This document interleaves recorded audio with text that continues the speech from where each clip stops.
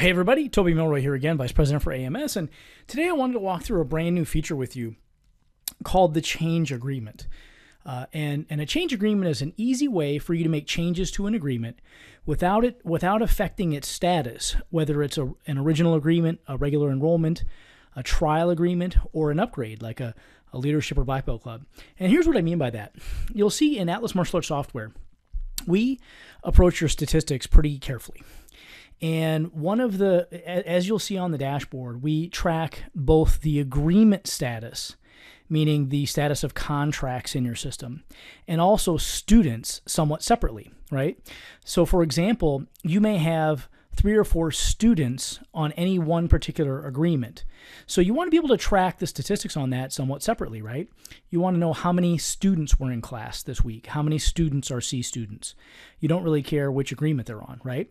But in some cases, you want to know how many active agreements I have, how many ending agreements do I have, how many expired agreements, et cetera, et cetera, right? So uh, you want to make sure uh, so we do track that separately for you. And something else that we do in our statistics is we track separately our trial trial agreements, our new students enrollments, and then also people who upgrade to a new program.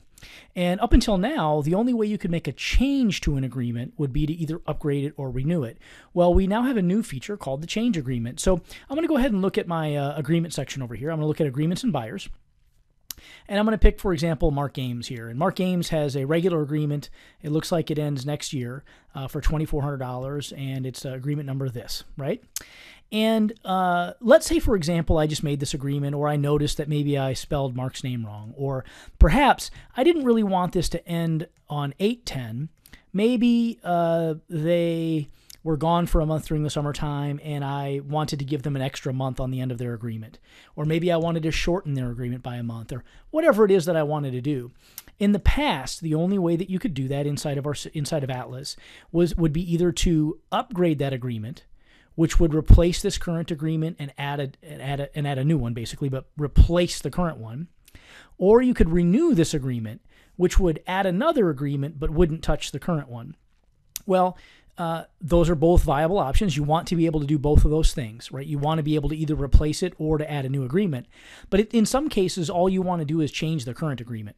You don't want to make it look like an upgrade. You don't want to make it look like a renewal. You just want to change something about it. And you don't want that to count in your statistics differently.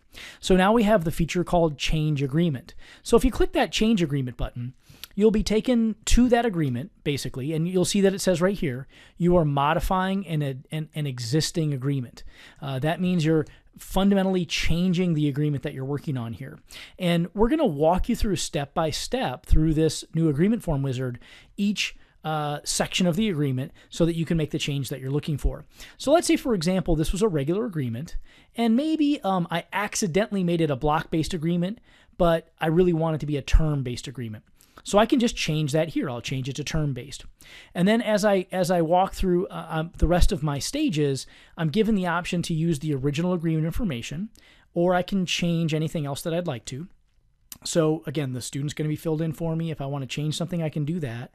Uh, but I'm just kind of stepping through the agreement so that I can pick any of the changes that I want to make. Maybe instead of a one-time payment, now maybe they want to make a couple of payments on the agreement or something like that. So now I can um, I can uh, fill out those differences and then basically move myself through the agreement stage. Oh, I guess I can use those uh, original terms as well. And then basically sign the new agreement. Doesn't have to be signed. You know, you're just making a change to what's currently here and hit finish. And now you've made that change permanently. So now when I go back to Mark Ames,